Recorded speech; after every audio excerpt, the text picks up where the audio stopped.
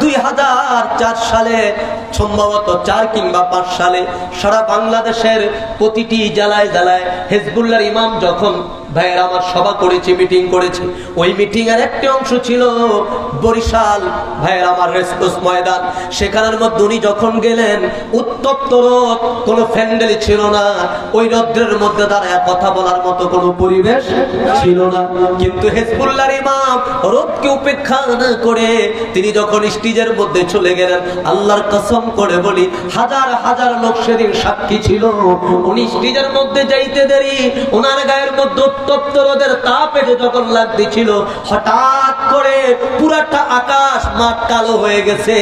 একদল পাখি, এই পাখি কি পাখি? কেউ তার নাম বলতে পারে না। পাখিগুলো চতুর্দিক দিয়ে এসে ঘূর্ণি পাক খাইতে শুরু করল।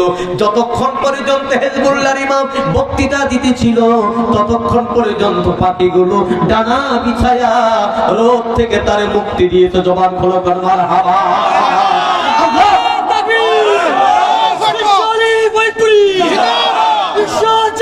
미세먼지!